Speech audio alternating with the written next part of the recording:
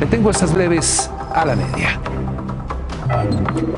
En la Ciudad de México fue detenido Miguel Carmona, alias Carmona, presunto ex integrante del cártel de Tláhuac y socio de Alejandro Moreno Licea, alias El Tesoro, de la Unión Tepito, detenido hace dos meses.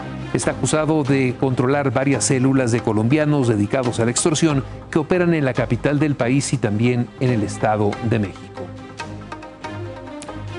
El Departamento del Tesoro de los Estados Unidos anunció sanciones contra cuatro narcotraficantes mexicanos que operan para el cártel Jalisco Nueva Generación. Se trata de los hermanos Aldrin, Miguel y José Jesús Joaquín Jarquín Jarquín, así como César Enrique Díaz León Sauceda y Fernando Zagal Antón. Además, se les prohíbe realizar transacciones financieras con entidades financieras de Estados Unidos y quedaron congelados sus activos en aquel país. Después del anuncio del Departamento del Tesoro de los Estados Unidos, la Unidad de Inteligencia Financiera de la Secretaría de Hacienda de nuestro país informó que también bloqueó las cuentas de estas cuatro personas vinculadas con el cártel Jalisco Nueva Generación. Además, reconoció el trabajo coordinado de diversas agencias de Estados Unidos con México en el combate al lavado de dinero. En el Estado de México, 135 mujeres de cuatro centros penitenciarios fueron trasladadas al penal femenil de Nezahualcóyotl Sur. Autoridades informaron que esta medida se realizó con el objetivo de dignificar la estancia de las internas e impulsar el trato justo y apegado a derecho. Este miércoles, dos exfuncionarias del Foro Consultivo de Ciencia y Tecnología del CONACID comparecieron ante la Fiscalía General de la República. Se trata de Patricia Zúñiga y Gabriela Duternit. Ambas se presentaron para conocer la carpeta de investigación que se inició en su contra por delincuencia organizada, operaciones con recursos de procedencia ilícita y otros delitos relacionados con el presunto desvío y utilización indebida de recursos federales. Anoche la Secretaría de Salud informó que en México suman 3.691.924 los casos confirmados acumulados desde que inició la pandemia. El número de defunciones, de acuerdo con datos oficiales, asciende a 279.896. Los pacientes que han logrado recuperarse de la enfermedad son 3.051.092.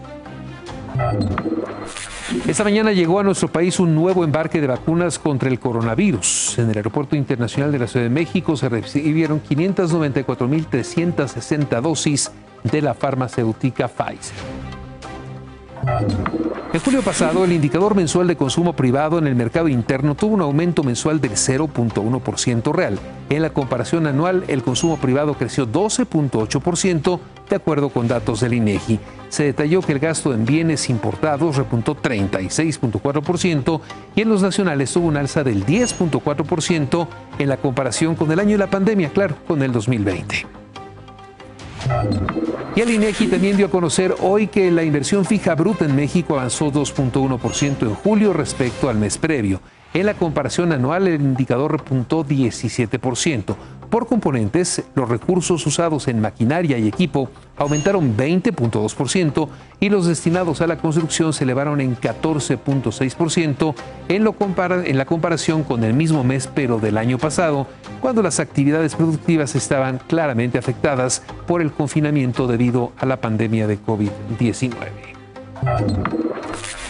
El indicador líder de la Bolsa Mexicana de Valores ha tocado máximos históricos recientemente. El subsecretario de Hacienda, Gabriel Llorio, señaló que se trata de una reacción positiva influida por las expectativas de crecimiento de la economía de nuestro país. Esto lo dijo al inaugurar la Convención Bursátil Digital 2021. El mercado accionario sirve como una especie de hecho de indicador adelantado de la economía. En este sentido, el mercado accionario mexicano está reflejando ya la expectativa de una recuperación que día a día se consolida. En ese mismo evento, el gobernador del Banco de México, Alejandro Díaz de León, explicó las razones por las cuales se han presentado volatilidad en el mercado cambiario y un incremento en las tasas de interés. Ello en respuesta a los efectos y volatilidad asociada al proceso de retiro del estímulo monetario por parte de la Reserva Federal que en las próximas semanas podría anunciar el inicio del proceso de reducción de compras de activos. El Banco Mundial pronosticó que América Latina tendrá un rebote en su Producto Interno Bruto de 6.3% en este año. Expuso que los países de la región deben aplicar reformas en infraestructura, impuestos y en educación de manera urgente para poder apuntalar la recuperación económica. El organismo mejoró las perspectivas de crecimiento para la economía de México a 5.7% y de Brasil a 5.5% en este 2021. En París, Francia, hoy concluyó la reunión ministerial de la Organización para la Cooperación y el Desarrollo Económicos. En la conferencia de clausura, el secretario de Estado de los Estados Unidos, Anthony Blinken, se refirió a la reunión de alto nivel sobre seguridad que se va a llevar a cabo en México. Consideró que será positivo y productivo. So we are uh, indeed heading to Mexico in a couple of days. Uh, we will be convening for the first time this uh, high-level uh, security dialogue uh, and talking about a broad range of um, common security uh, issues and challenges. Uh, and that follows on the economic dialogue that brought us together just a few weeks ago in Washington.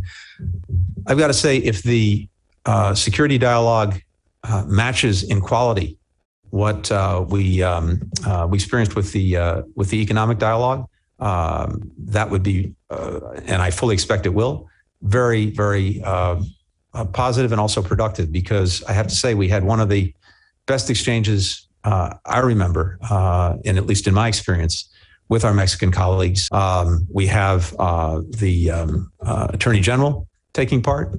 Uh, we have the Secretary for Homeland Security taking part of this.